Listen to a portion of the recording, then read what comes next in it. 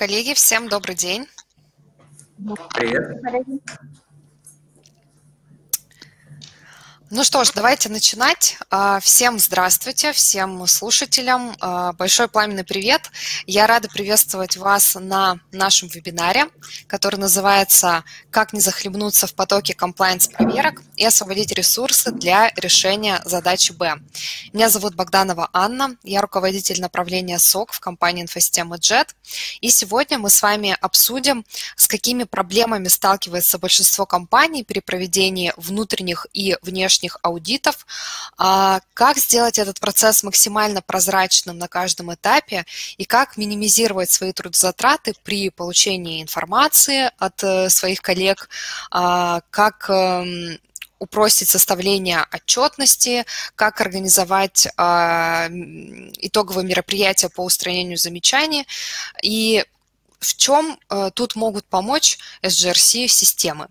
А, наш вебинар будет состоять из двух частей. В первой части Павел Новожилов, э, руководитель группы консалтинга э, компании инфосистемы JET, расскажет в целом о том, как мы видим а, процесс аудитов а, в наших заказчиков, из каких этапов он состоит и какие проблемы чаще всего встречаются. А во второй части наши партнеры из компании AirVision а, на системе AirVision SGRC продемонстрируют, как можно от этих проблем избавиться или как-то их минимизировать. В течение всего мероприятия вы можете задавать свои вопросы. Э, это сделать очень легко. Это делается на вкладке «Вопросы». Посмотрите на э, верхней панели справа. Есть значок «Вопросы». Пожалуйста, туда пишите свои вопросы, а не в чат. И в самом конце мероприятия мы все ваши вопросы Э, зачитаем, обсудим, и наши уважаемые спикеры на них ответят. Также, конечно же, у нас будет запись всего вебинара, и если вы что-то пропустите, то ничего страшного, мы обязательно вышлем вам запись по итогам мероприятия. Ну что ж, коллеги, давайте начинать. Э, я хочу передать слово первому спикеру, Павлу Новожилову, руководителю группы консалтинга по, инф, по информационной безопасности компании «Инфосистема Джет». Паша, тебе слово. Аня, спасибо. Коллеги, добрый день еще раз. А, предлагаю начать немного с нормативки. А, если смотреть на финансовую отрасль, то эта отрасль на сегодняшний день достаточно сильно зарегулируема со стороны Центробанка. При этом важно отметить, что большинство аудитов, оно именно внешних. Также можно выделить стандарт а, ISO 27001, и если компания планирует получать а, такой сертификат или поддерживать его в актуальном состоянии, то, как правило, приглашается внешняя компания, именуемая органом по сертификации. Касательно остальной части, это российская нормативка, в принципе, за исключением а, финансового комплайнса.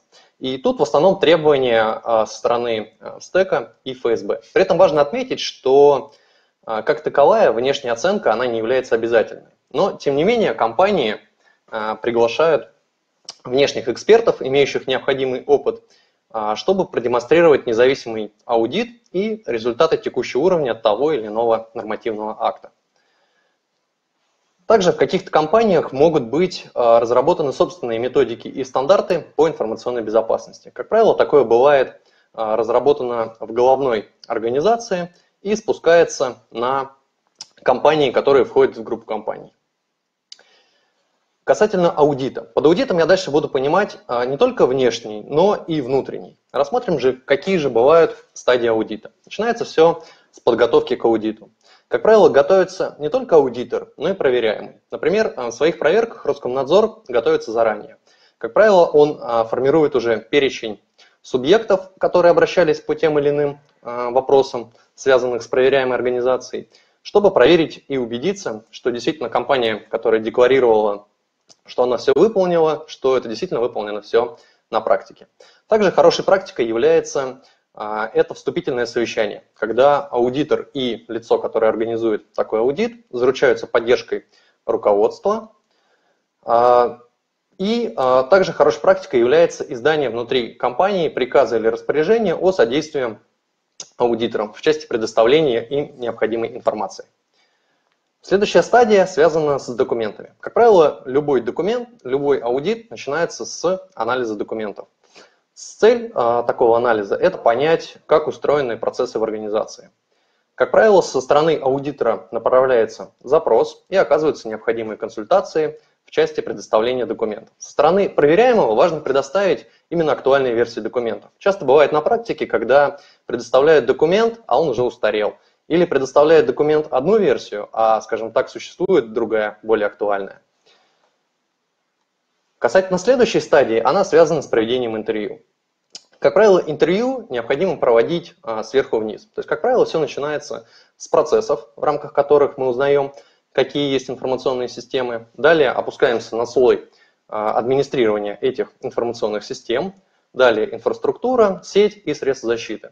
Почему именно в таком порядке? Потому что на нижних слоях можно проверить информацию из верхних. Например, мы проводим аудит э, средств защиты. И чтобы убедиться, что то или иное средство защиты настроено правильно и покрывает все необходимые хосты, нам необходимы, э, соответственно, какие-то серваки или армы той или иной системы, которая входит в наш скоп. Также на этапе интервью э, накапливается некая информация, которая со стороны аудитора запрашивается – и со стороны проверяемого предоставляются различные скриншоты, конфигурации, а также документы, которые выявляются ходе аудита. И завершающая стадия аудита, когда аудитор сопоставляет информацию из документов с полученным интервью информацией, а также проводит оценку соответствия. Проверяемый же ожидает получить а, информацию об итоговом уровне соответствия в целом, а также несоответствиях, которые выявляются в рамках аудита. Как правило, эти несоответствия Э, для этих несоответствий разрабатываются со стороны аудитора некие рекомендации, чтобы их устранить в дальнейшем. И вся эта информация агрегируется едино в отчет. Если перейти к трудностям или болям, как условно мы их назвали, которые возникают в рамках аудита, опять же повторюсь, не только внешнего, но и внутреннего у проверяемой организации, то можно выделить следующее. Э, зачастую в организации достаточно сложно найти того или иного ответственного.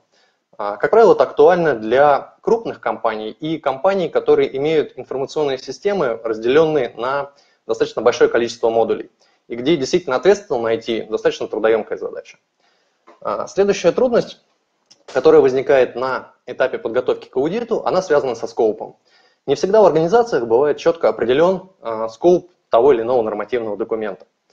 И это достаточно важно, потому что ведь а, когда мы начинаем внедрять или подходить к любому нормативному документу, важно очертить границы, а на что он распространяется.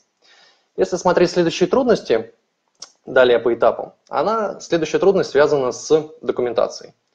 А, это может быть актуально компаниям, которые в один календарный год проходят достаточно много разных аудитов. И здесь а, возникает трудность в том, что в рамках этих аудитов запрашивается плюс-минус одна и та же документация если брать информационную безопасность. И со стороны бизнеса может вызывать негатив. А, ну, проходит один аудит, они предоставляют документы, потом к ним приходят и говорят, ну вот нам нужны плюс-минус те же самые документы. И со стороны а, таких подразделений может возникать какой-то негатив. А, если переходить к следующему этапу аудита, который связан с интервью, боль или трудность заключается в следующем. Сейчас зачастую в рамках пандемии достаточно много проходит аудитов именно удаленно. И возникает достаточно много разной информации, которую проверяемая организация должна предоставить, ввиду того, что, скажем так, так она могла где-то очно что-то показать, а ввиду удаленки достаточно проблематично это сделать. И тут возникает вопрос, а как же контролировать предоставление такой информации? А, в завершении аудита, как я уже сказал, а, компания может получать какие-то несоответствия. И, как правило, достаточно быстро и оперативно необходимо разработать экшен-план по этим несоответствиям, в которых указать как оно будет устранено, кем и когда. А, как показывает практика, что если это не сделать достаточно быстро и оперативно, то это может забыться, и, в принципе, те несоответствия, которые будут выявлены в результатах аудита, они могут перейти а, зачастую на следующий аудит. А, с точки зрения выводов своего раздела хочется отметить следующее. Есть цикл Деминга, так называемый PDCA, в рамках которого контроль выделен как отдельная составляющая.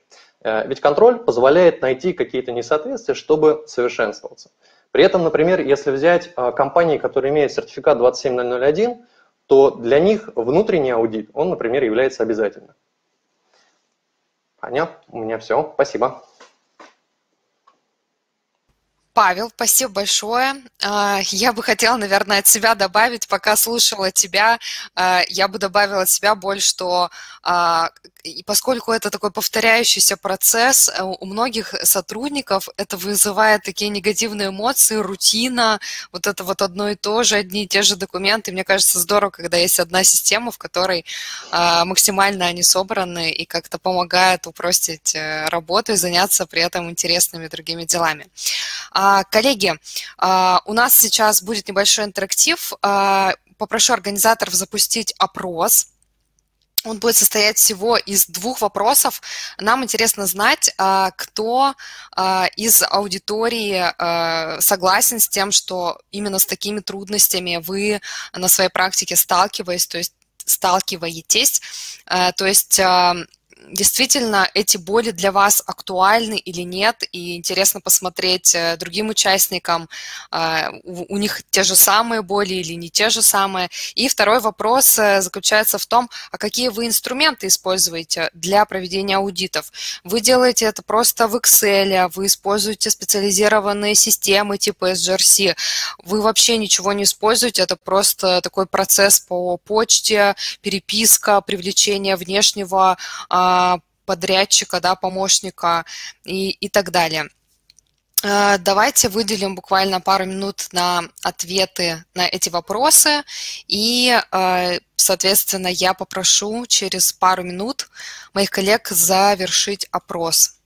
Осталась буквально одна минута, э, и пока она истекает, я воспользуюсь случаем и представлю следующих спикеров. А вот коллеги уже а, выпустили... Так, или продолжается голосование? Организаторы, подскажите мне, пожалуйста. А, и опрос все еще идет. Все еще идет. Давайте чуть-чуть подождем. В это время я представлю следующих спикеров. Это Ирина Носова, пресейл-менеджер компании AirVision, и Максим Корчевский, консультант Центра экспертизы AirVision. Коллеги покажут на своем демо-стенде, а, как внутри AirVision GRC а, можно а, ре реализовать процесс проведения аудита, чтобы максимально упростить свою жизнь. Давайте тогда завершим голосование и посмотрим на результаты. Организаторы, просьба завершить голосование. Так, а, что же у нас получилось? А, откликаются ли вам перечисленные боли? Большинство людей ответили частично, а, и большинство людей ответили, что используют Excel для проведения аудита, и вообще никто не использует SGRC-системы. Это очень интересный результат. Давайте тогда послушаем вторую часть нашего вебинара. Может быть, ваше мнение поменяется, и вы подумаете, что стоит попробовать SGRC-систему пропилотировать, посмотреть. Коллеги, Ирина, Максим, я передаю вам слово. Да, спасибо большое, коллеги. Э, давайте возьму слово. Меня зовут Ирина Носова. И э, сегодня я со своим коллегой Максимом расскажем вам и покажем, как с помощью автоматизированной системы AirVision SGRC можно улучшить э, работу с аудитами, намного повысить зрелость бизнес-процессов по информационной безопасности. И э, хотим сделать поинтереснее наш рассказ, хотим рассказать вам просто историю одной большой организации, которая в начале своего становления, э, своей зрелости столкнулась с очень большими проблемами. Э, эти проблемы мы их выделили в э, специальные боли, которые мы сегодня с вами опишем и расскажем, как эти боли мы э, решили. Мы э, рассматриваем сегодня большой холдинг, АО «Успешная компания». Это достаточно крупная организация со множеством подразделений и филиалов, которые ну, достаточно могут быть территориально распределены, а, в различных точках а, страны находятся, и все эти филиалы, они могут иметь абсолютно разную сферу деятельности, то есть там начиная с э, различных финансовых организаций и заканчивая некоторыми точками в промышленности. И в центральном аппарате существует как служба внутреннего аудита, так и а, проверки могут проводиться подразделениями самостоятельно. То есть на местах в более-менее крупных филиалах есть своя служба информационной безопасности, которая там в основном самооценками занимается, в принципе. Ну и а, давайте перейдем к этапам аудита. Мы решили разбить их тоже на этапы. И самое первое у нас это подготовка к аудиту. Уже на э, данном этапе э, существует множество болей и проблем, что даже когда еще никакой процесс не начался, еще ничего не началось, а администраторы информационной безопасности, аудиторы, они уже сталкиваются с какими-то нерешимыми проблемами, и этот процесс, он растягивается в какое-то бесконечное количество времени. И э, самый первый, самая основная боль, которая у нас на данном этапе встречается, это то, что отсутствует четкое понимание скопа аудита вообще и зон ответственности. То есть просто колоссальное количество времени уходит у людей на то, чтобы выяснить, из, э, что вообще входит в область оценки, из каких подсистем, из каких сервисов состоит, состоит информационная система, которая собираются аудировать, а кто вообще ответственный за область оценки, кому нужно бежать, чтобы выяснить необходимую информацию и внести потом ее в чек-листы. Вот. И постоянно возникает путаница, непонятно, что делать, а куда бежать, кому обращаться. А, давайте я э, включу сразу демонстрацию системы. И начну я свой рассказ с такого процесса, как а, проведение инвентаризации. Практически, наверное, все стандарты, очень многие нормативные требования, они все говорят, чтобы выстроить грамотно процесс информационной безопасности, нужно понять, а что в организации вообще подлежит защите. Нужно понять, что такое актив, а, вокруг чего выстраивать уже эти верхнеуровневые процессы. И а, давайте перейдем сразу во вкладку «Активы». В нашей организации, в нашем холдинге «Успешная компания» а, активы собираются из совершенно различных источников. Собираются они как и по совершенно низкоуровневым типам, как оборудование, например. В данной вкладке вы можете видеть перечень всего оборудования, которое есть во всем холдинге. Собирается он из совершенно различных источников, там, начиная от интеграции с антивирусными средствами, которые хорошую инвенторку отдают, и заканчивая там очень крупными IT-системами, например, ITSM или CMDB решениями. Вот. А при этом а, информация здесь не дублируется, потому что в организациях особенно в крупных организациях, где много систем, очень часто встречается такая ситуация, когда, а, в принципе, в разных системах хранится информация об одном и том же оборудовании. Здесь ничего не дублируется. Карточка информации, которую вы можете видеть справа с многими-многими данными, она здесь да, обогащается, а, второй карточки не будет. Система сама поймет, что если поступила информация с различных источников об одном и том же, здесь будет до обогащения. И здесь у нас уже видим централизованное хранение информации об оборудовании.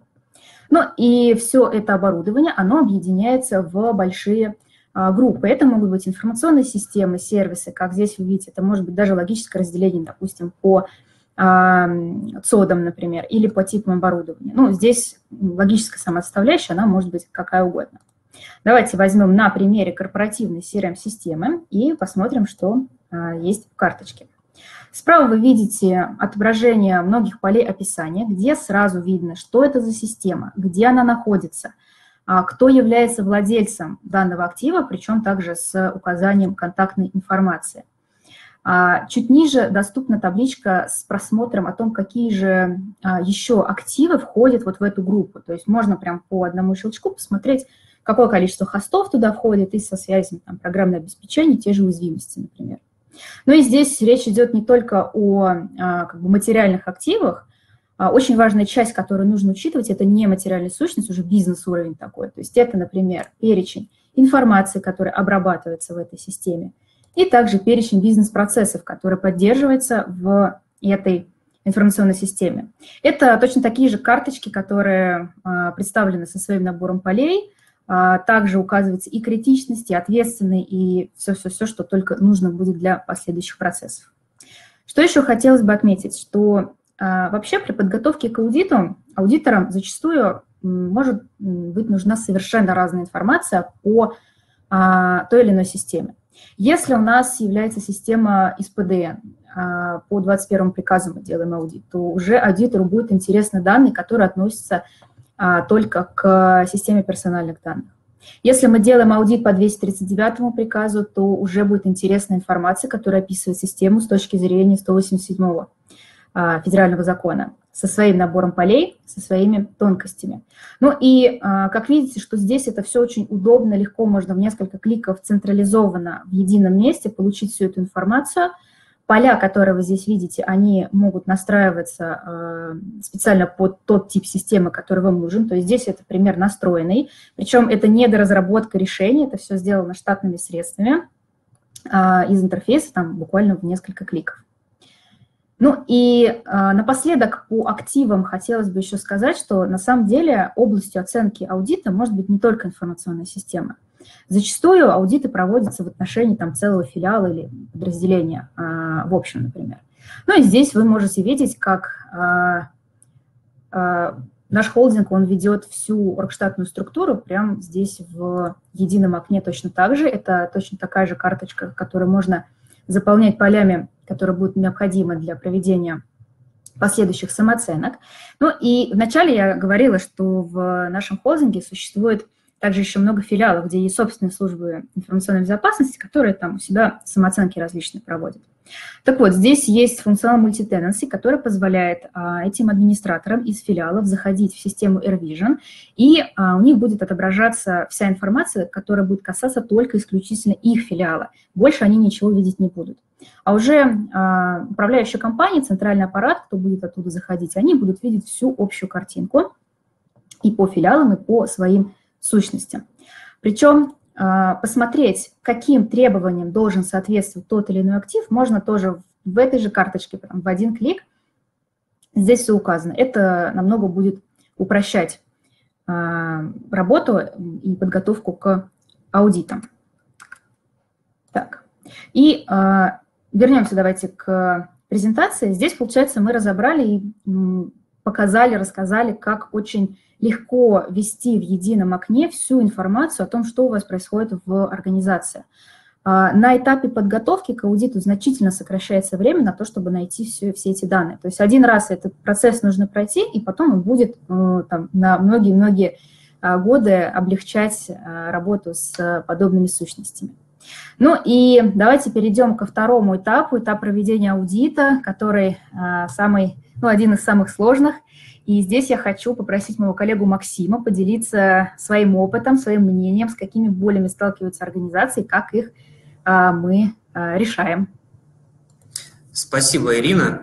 Итак, мы спланировали аудит, и наступи, наступила дата, когда мы его должны провести. И первая боль, с которой часто сталкиваются аудитор, а также заказчики, которые, у которых проводятся эти аудиты, это запрос одной и той же информации в рамках э, разных аудитов. Например, э, аудитор может приехать в подразделение, запросить некий документ, например, у кадрового подразделения. А кадровое подразделение говорит, что до месяц назад уже запрашивали эту информацию, зачем вы просите у нас одно и то же, одни и те же данные. И это, получается, создает определенный негатив со стороны коллег и занимает обычно много времени, если запрашивать одну и ту же информацию. А, решением а, может быть как раз-таки использование системы SGRC, и на примере нашего демо-стенда я вам продемонстрирую, как это проводится. Видно экран, да? Итак, а, мы находимся Э, в подразделениях и организациях, и есть у нас успешная компания и филиал э, в городе Хабаровске. Э, в этом филиале есть различные системы, в частности, есть АСУТП, и эта система должна соответствовать 31 приказу СТЭК. Этот АСУТП является объектом КИИ, и, соответственно, должно быть защищено в соответствии с 239 приказом СТЭК, а также обрабатываются персональные данные и необходимо защищать по 21 приказу. А, эти приказы, э, по крайней мере, меры, которые в них есть, э, часто пересекаются друг с другом. И если будут проходить аудиты по одному из этих приказов, соответственно, аудитор будет запрашивать одну и ту же информацию, что будет, а, опять же, повторюсь, создавать определенный негатив у коллег и тратить определенное время. А, с помощью Revision SGRC мы можем взять какой-нибудь аудит, а, например, по 21 приказу а, перейти в систему контроля, и э, мы видим, что различные требования, которые вы видите на экране, сгруппированы по тематикам. Тематика блокирования сеансов доступа, тема а, выявления информирования в инцидентах ИБ и, например, информирование процедуры, э, документирование процедуры обеспечения антивирусной защиты. В эту группу вопросов включены несколько подтребований. Например, документально определены процедуры регулярного обновления средств антивирусной защиты. А если мы посмотрим на связанные с, этим требованием документы, то увидим, что, например, они встречаются в 21 приказе, в 31, а, в 17 приказе, а также, например, есть э, такое требование в стандарте Банка России. А, перед тем, как проводить аудит, мы можем по данному требованию выставить оценку. Это может быть выполняется, не выполняется, частично выполняется или неприменимо если, например, в этом подразделении не используются средства антивирусной защиты. А также ставится, указывается ответственный и указывается дата очередного контроля, когда а, уведомление придет этому ответственному, чтобы он пересмотрел а, данный пункт. Зачем мы все это проводили и заполняли эти оценки? Покажу на примере. Вернемся к нашему аудиту в городе Хабаровск. Мы видим, что Текущая оценка, э, прогресс оценки заполнен на 0%. И э, перед тем, как проводить оценку, мы ставим чекбокс «Заполнять оценку, используя данные из системы контроля». Переводим аудит в работу и видим, что аудит заполнился на 47%. Как это вышло? Э, в левой части вы видите опросный лист, Слева видите различные требования 21 приказа и выставленные оценки. Эти оценки подтянулись а, из системы контроля, которую я вам демонстрировал, и теперь аудитору практически в два раза меньше работы а, требуется на то, чтобы заполнить эти данные. А также ему не нужно будет каждый раз запрашивать те сведения, которые были уже заполнены а, ранее. Возвращаясь к нашей презентации, мы данную проблему рассмотрели и видели, что с помощью AirVision SGRC э, она достаточно просто решается, и переходим к следующей. А, следующая проблема связана с тем, что достаточно непросто найти определенный документ для свидетельства проверки. А, аудитор, приезжая в то или иное подразделение, может получить, как рассказывал Павел, документы, которые, например, истекли, срок действия которых истек, или, например, уже есть более новая версия этих документов, и аудитору это не проверить. Для этого также можно использовать средства автоматизации. Перейдем на демо-стенд.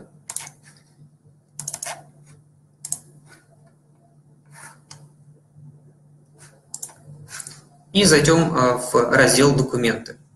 Что же в этом документе? Здесь есть различные объекты, которые по сути являются карточками документов. А, возьмем, например, документ «Регламент управления доступом к информационным ресурсам». А, данный документ имеет ряд полей, например, есть ответственный, дата пересмотра, срок его действия. Кроме того, загружены э, скан-копии этого документа с указанием версионности. Ответственному сотруднику автоматически приходит уведомление о том, что этот документ необходимо перевыпустить, так как, например, э, он истек.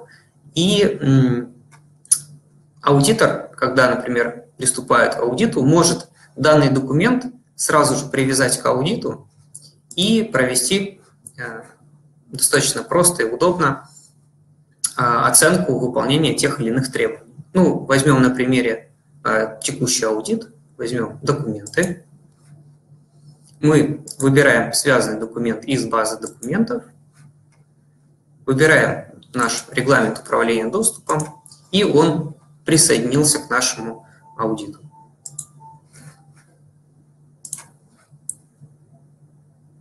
Э, таким образом, с помощью э, единого места, где мы можем хранить все документы, карточки документов,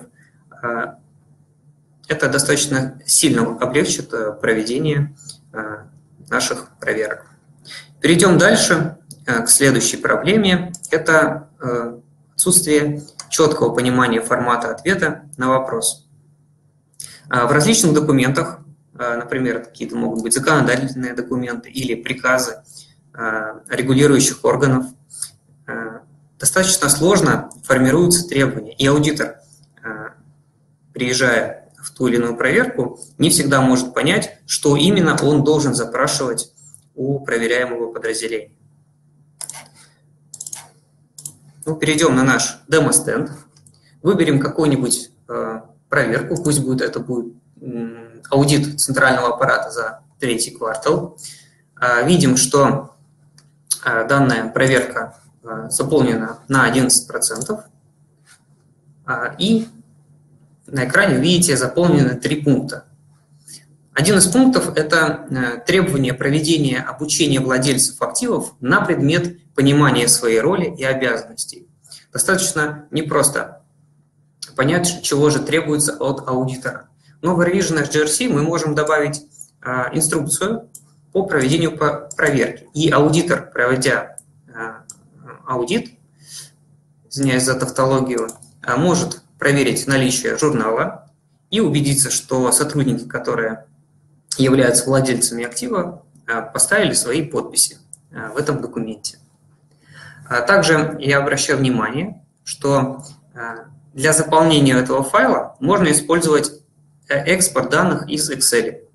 Э, некоторые подразделения предпочитают работать в классических офисных приложениях, и, или, например, у них нет доступа в AirVision RGRC, например, так как они находятся в сегментах вроде ASUTP.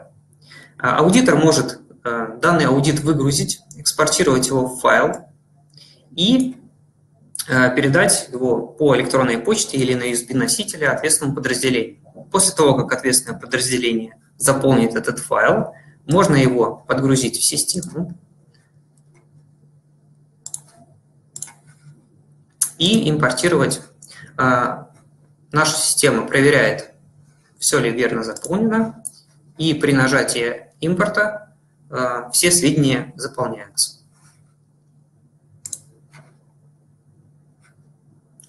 Таким образом, э, с помощью инструкций, которые могут быть как в текстовом формате, так и могут быть в формате изображений, скан копий или, например, каких-то форматах шаблонов документов, а также с помощью возможностей выгрузки и загрузки данных из системы автоматизации – можно существенно сэкономить время э, и облегчить проведение аудита.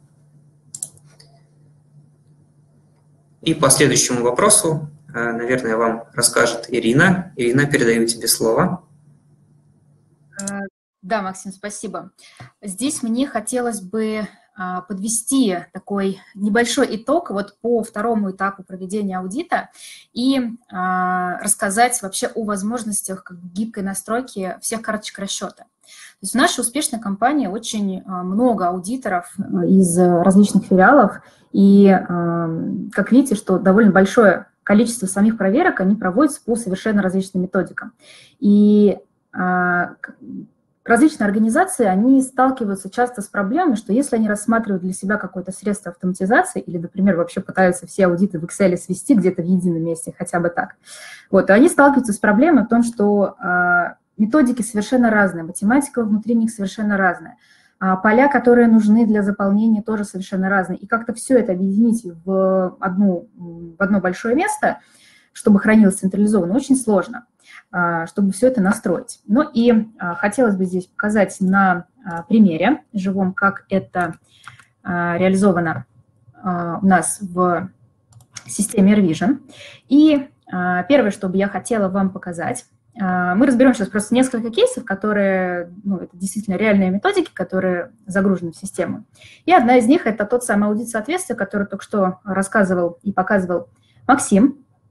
А, здесь хочу немножко вводную сделать. Это, собственно, разработка центрального аппарата, а, который взял за основу стандарт ISO 27001 и немножко адаптировал под себя. Очень часто бывают такие ситуации, когда а, крупные организации, они берут за основу существующий best practice и уже там под себя его немножко адаптируют там, под свою специфику. Здесь можно посмотреть, что вопросы, которые здесь задаются, они разделены на домены. Ну, некие области информационной безопасности, то есть там а, инвентаризация, управление уязвимостями, управление инцидентами, ну и так далее. А после того, как а, был проведен этот аудит, как видите, что здесь а, можно выставлять различную оценку по определенной шкале, по инструкции, которая существует, уже, уже сказал Максим. И после этого завершения нужно посчитать итоговый а, результат некий индекс соответствия, я бы сказала. И здесь в, а, в системе Revision математически введены такие формулы, которые рассчитывают различные показатели. То есть, во-первых, может производиться расчет групповых показателей, то есть некий индекс соответствия по группам, а, по доменам информационной безопасности. А потом все эти расчеты по группам, они объединяются уже в результирующий показатель. То есть это некое число, которое высчитано по специальной формуле, которое заведено там а, под капотом системы, я бы сказала. И э, все, что нужно сделать аудитору, чтобы получить результат, это, соответственно, заполнить аудит. Все, ничего считать, ничего не нужно это делать. Система делает это автоматически.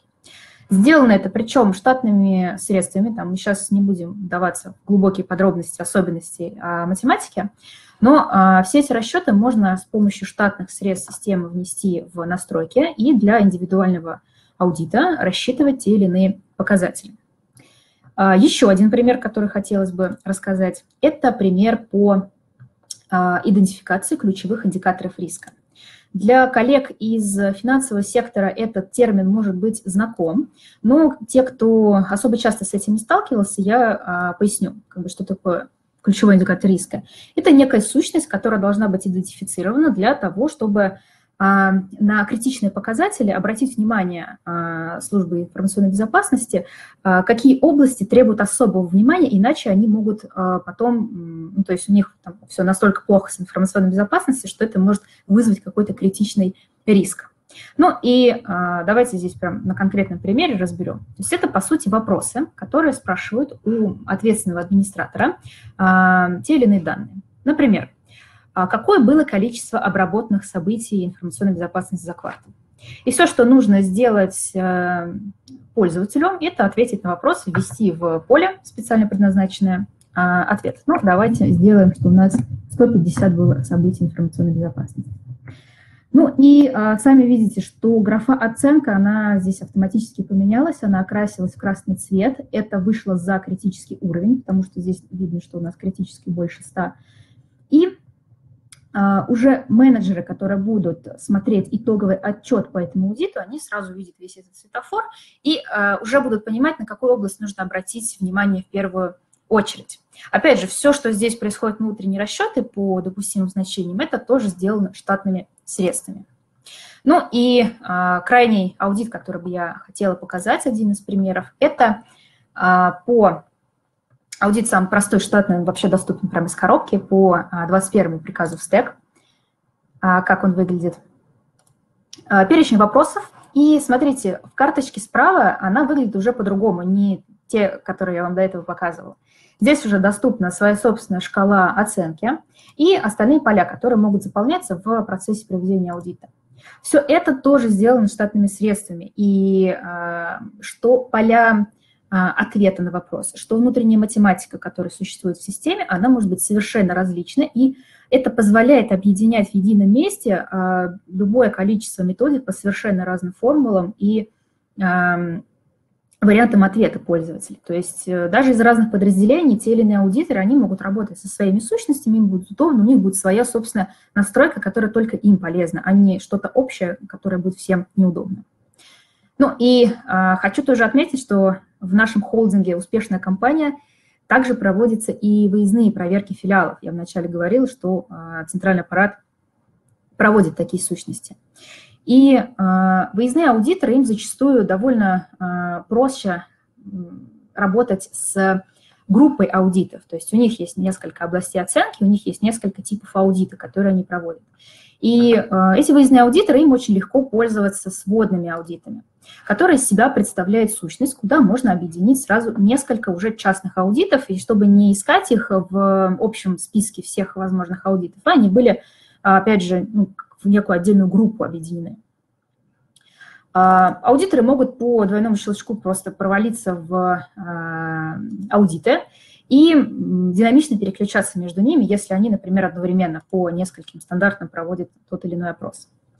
А, Причем Чуть ранее я говорила, что э, в системе возможно математику настраивать результирующих показателей. Так вот, э, на уровне сводного аудита эту математику тоже можно настраивать. То есть считается некий показатель в частных аудитах, и потом из этих частных аудитов это все собирается в некую единую единый показатель, как у меня здесь указано. Методик тоже может быть несколько, которые рассчитывают это все.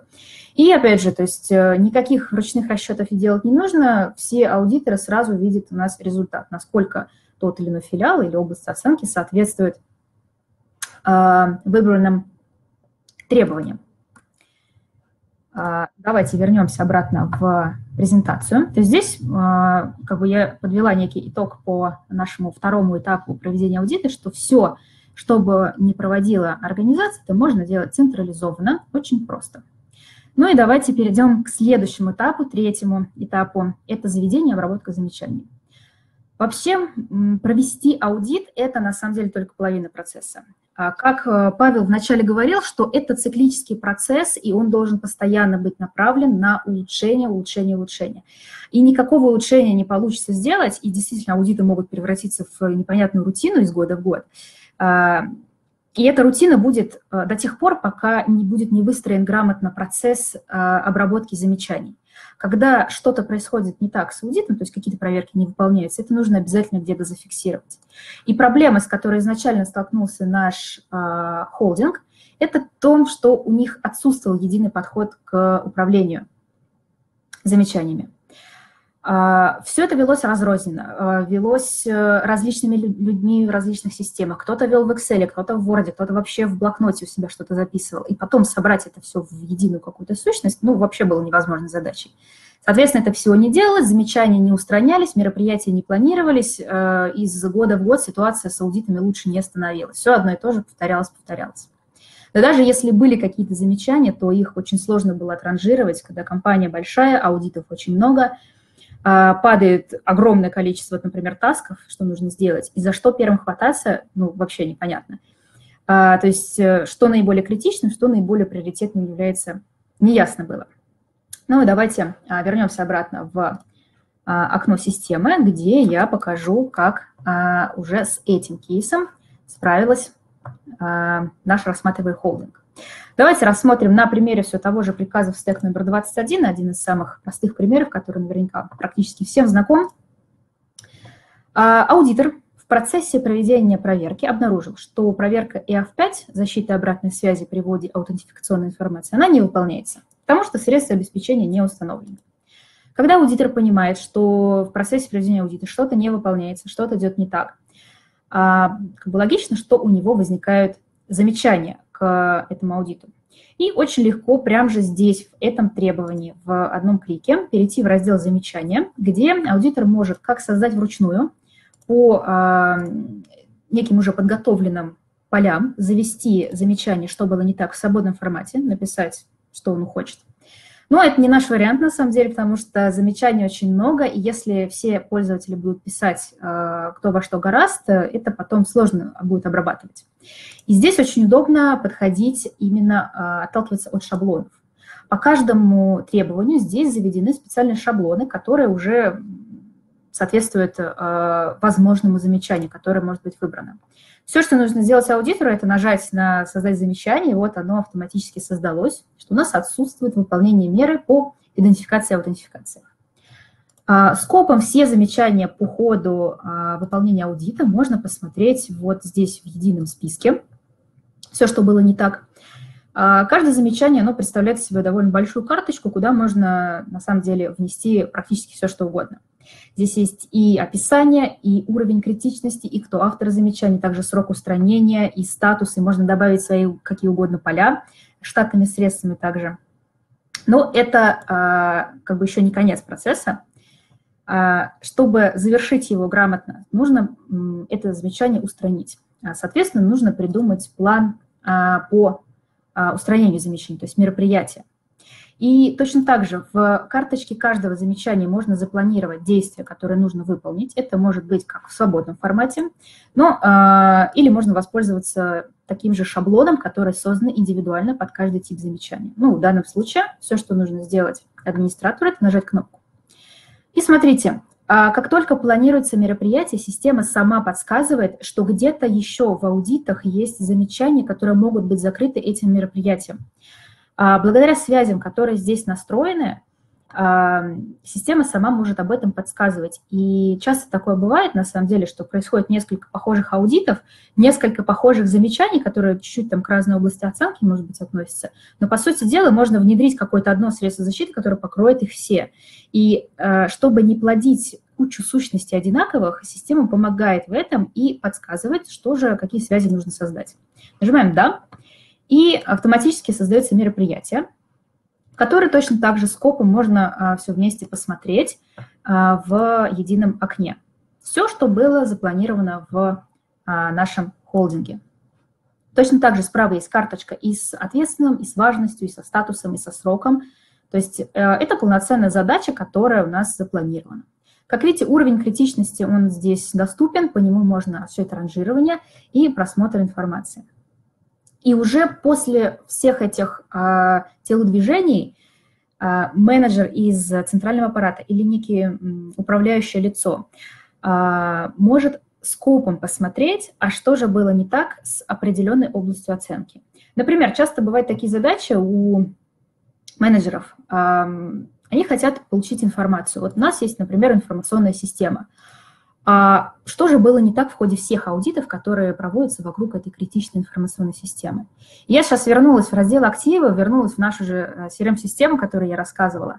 И здесь а, очень легко можно посмотреть сводную информацию о всех аудитах, которые проводятся вокруг нее, далее о всех замечаниях, которые были выставлены к, по данной системе, и о всех мероприятиях по устранению. То есть уже есть картинка, можно идти а, посмотреть все замечания вообще, которые были в аудите, а можно посмотреть все замечания, которые там в отношении информационной системы, ну или другой области оценки, например.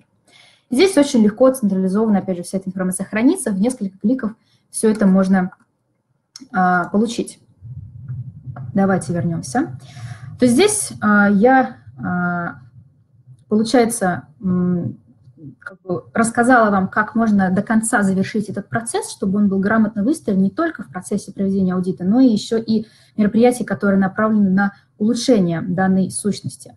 И э, следующий этап э, – это этап отчетности, э, самый э, крайний, когда э, тоже возникает очень много проблем. И здесь попрошу коллегу своего Максима тоже рассказать, поделиться э, своей экспертизой, с какими болями сталкиваются коллеги, заказчики.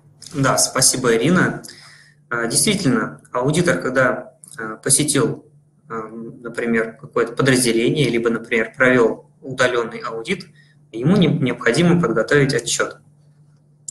И подготовка этого единого отчета занимает достаточно много времени, потому что ему приходится сводить разные записи, разные данные, которые он собирал. Более того, в аудитах иногда участвуют целые комиссии. И на примере а, аудита нашей корпоративной CRM-системы мы можем увидеть, что в аудите участвует несколько человек, и каждый из этих людей а, отвечает за какие-то свои вопросы. И для того, чтобы свести а, все замечания, все результаты аудита в единый документ, нам требовалось несколько часов сидеть, сводить вот эти данные от разных сотрудников. С помощью средств автоматизации, например, AirVision SGRC, мы можем открыть оценку, что мы делаем, а, увидеть, что все вопросы отвечены и проставлены замечания, и сформировать отчет. Отчеты формируются как коробочные, которые встроены в систему, так можно формировать отчеты, которые а, формируются по а, шаблонам. Эти шаблоны готовится с помощью конструктора отчетов. Ну, возьмем какой-нибудь отчет. А, да, это демонстрационный отчет. В него мы добавили логотип некой компании, публичное акционерное общество «Успешная компания». В этот же отчет мы внесли какие-то сведения а, по, из, из опросных листов и областей оценки, которые мы проводили, по которым мы проводили. И э, данные результатов мы э, внесли как раз-таки в этот PDF-документ.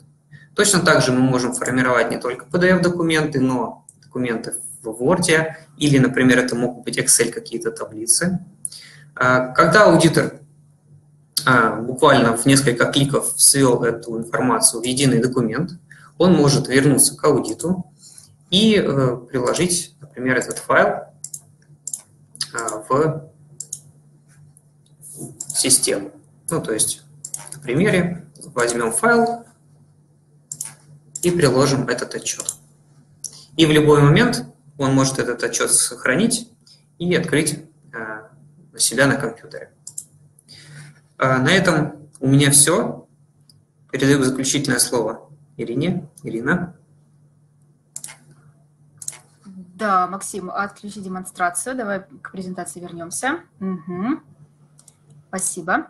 Ну и я хочу здесь а, подвести небольшой итог по а, всему рассказу, что мы вам представили.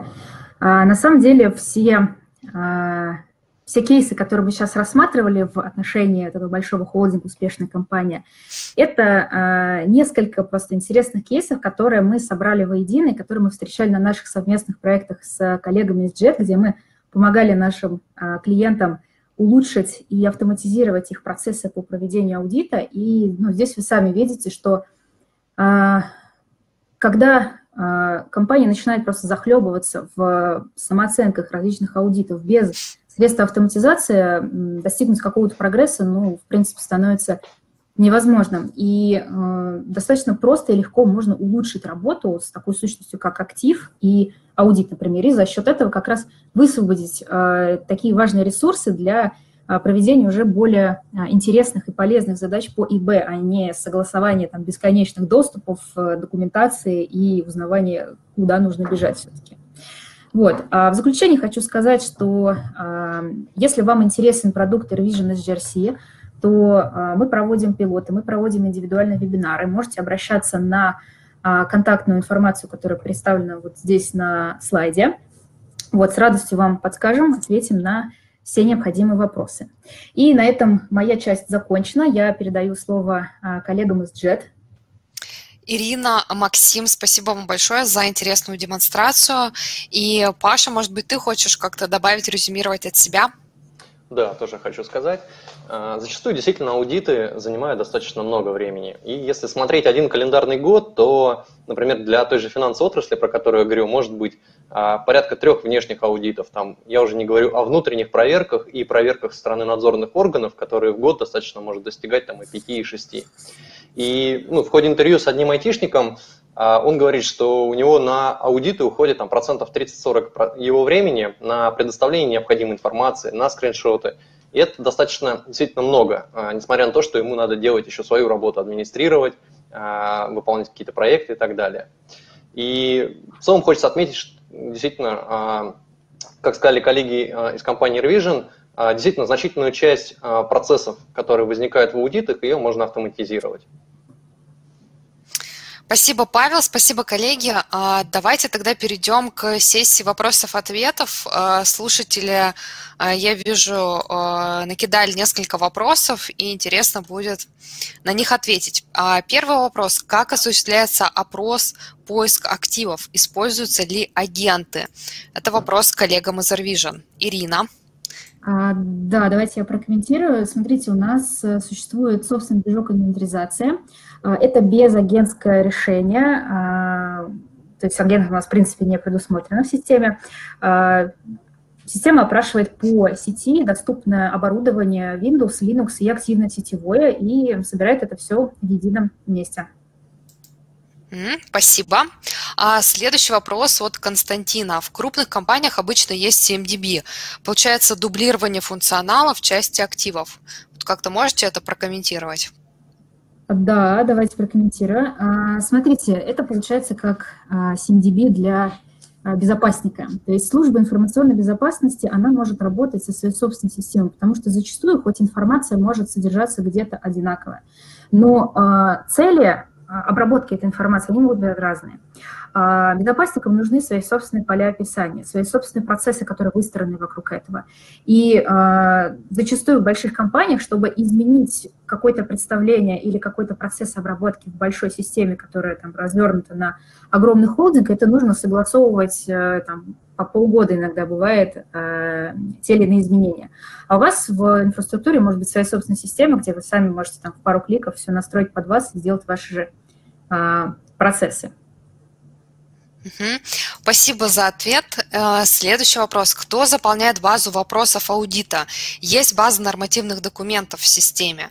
Например, положение БР 382П или ГОСТ 57580, э, тоже Банка России.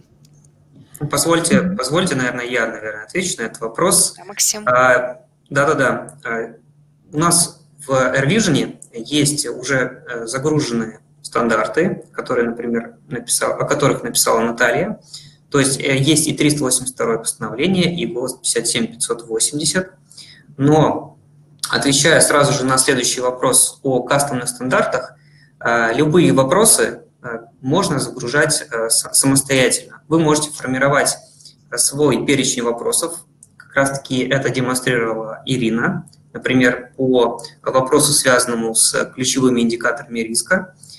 Э, эти вопросы вы формируете самостоятельно, и после этого э, можете каждый там, месяц, каждый там, полгода или каждый год их уже использовать в своих аудитах. А, спасибо за ответ. Э, и следующий вопрос. Есть ли функционал бенчмаркинга, то есть общая картина оценок по всем филиалам? А, давайте я тоже прокомментирую здесь. А, да, у нас а, существует функционал дашбордов, отчетов, куда можно свести всю эту информацию. Дашборды есть совершенно различные. Мы сегодня как бы рассматривали систему там в формате отчетов, только Максим когда рассказывал. Да, ну если будет интересно, обращайтесь, мы вам покажем на живом примере, как это может выглядеть. Угу, отлично. А, следующий вопрос. Можно ли использовать для аудита ИБ текущих и потенциальных подрядчиков, партнеров? Какие варианты?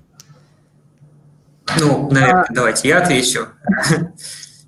А, действительно, можно э, привлекать э, различных пользователей, при этом в AirVision достаточно гибко настраиваются полномочия. Вы можете, например, привлечь внешних аудиторов, которым предоставите доступ только на чтение результатов, а можете привлечь, например, а, сотрудников, которые э, могут заполнять э, данные по различным вопросам. Очень гибкая, в общем, а, возможность настройки. Спасибо. А следующий вопрос про то, что есть ли возможность проводить аудит PCI DSS в этой системе. Ну, давайте я отвечу. Мы с Максимом так э, неформально решили по очереди брать вопросы. А, да, действительно, у нас есть возможность проводить аудит PCI DSS. Об этом было сказано ранее, я просто проведу. На самом деле вы можете забрать любые требования. Это может быть и PCI DSS, и банковские стандарты, и корпоративные стандарты. То есть перечень вопросов, он абсолютно может быть кастомизирован, и а, ну, любая методика, по сути, может быть загружена в систему. Вот, есть предустановленные а, сущности, PCI кстати, там тоже есть. Вот, но если вам нужно что-то поправить, поменять, это все делается прямо через интерфейс а, в несколько кликов. Угу, отлично. Вот мне кажется, следующий вопрос от Константина интересный. Может ли AirVision SGRC автоматизировать процесс сбора свидетельств? Например, э, скан конфигурации объекта инфраструктуры или, например, парольную политику?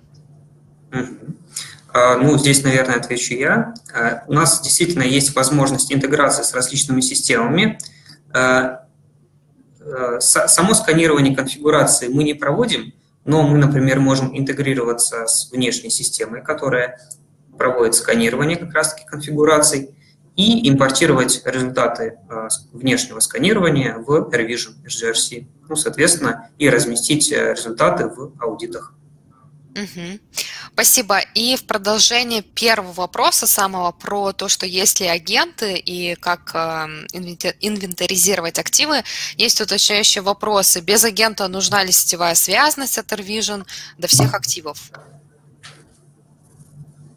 А, смотрите, а, получается, нужна сетевая связанность, а, если мы говорим про инвентаризацию, нужна сетевая связанность от конечного устройства до ну, получается, сервер AirVision, чтобы он мог а, запускать оттуда необходимые команды для того, чтобы проводить инвентаризационную информацию. У нас а, есть несколько кейсов, и мы их успешно решали, когда тоже проводили проект внедрения в большом крупном холдинге, где есть изолированные сегменты. Это может быть там, ну, по различным причинам, которые там не связаны. А, например, там тоже сегмент, например, PCI DSS. Туда ставится отдельный так называемый коллектор системы Revision, который собирает уже там необходимую информацию, а, и это все может быть перенесено уже впоследствии там, с помощью различных средств, а, шлюзов уже в основную инсталляцию, куда вся эта информация потом подгрузится. То есть как бы если вопрос заключался в том, можно ли какие-то изолированные сегменты инвентаризировать, да, можно. Возможности такие есть, варианты нужно прорабатывать. Ирина, спасибо. И э, завершающий вопрос. Есть э, внутри ЦИС бенчмарк для различных средств?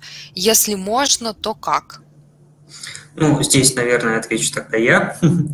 А, дело в том, что как раз-таки выше я рассказывал о том, что э, сравнение э, конфигураций тех или иных устройств, операционных систем или баз данных э, проводится специ специфическими решениями, я их, конечно, не буду здесь называть, э, вот, но э, информацию, которую получают эти внешние э, системы, мы можем, опять же, импортировать в Revision. Угу. Спасибо, Максим. А, появился еще у нас один вопрос. Как закладывается расчет количественных и качественных оценок риска? Как сделать расчет в деньгах потенциальные ущербы, потери? А, смотрите, коллеги, сегодня мы не рассматривали этот модуль, но а, на самом деле как бы аббревиатура SGRC, а буковка R – это а, значит риск. Это еще одна функциональная возможность э, нашей системы, мы ее сегодня, как говорю, не рассматривали, и действительно там можно и количественные, и качественные оценки риска проводить, и в том числе делать расчет в деньгах. А, чтобы сейчас сдаваться не подробности, а, если вы хотите послушать поподробнее, то обращайтесь по контактам, здесь уже а, проведем индивидуальные вебинары. Вот. Следующий вопрос тоже вижу. Да, следующий вопрос, когда будет вебинар по расчетам рисков? Коллеги, Это... планируем уже все на следующей неделе. А, да, хороший вопрос. А, на этом наши вопросы э, закончились. А, спасибо большое спикерам за интересный вебинар. Запись будет э, доступна, соответственно, всем участникам вы вышлем ссылку. Если у вас остались вопросы, пожалуйста, пишите на адрес, который сейчас э, на ваших экранах, securityjetsu. Также на предыдущем слайде были контакты наших спикеров. Можете обращаться туда. В общем, пожалуйста, пожалуйста, мы готовы а, и JET, и AirVision а, проводить э, дополнительные вебинары для наших заказчиков и ответить на дополнительные вопросы, чтобы вы определились, нужна ли вам SGRC-система, нужна ли она для а, реализации процесса аудитов или для управления рисками или для чего-то еще. В общем, будем рады вашим вопросам. Спасибо всем, всего доброго, до свидания, хорошего вечера.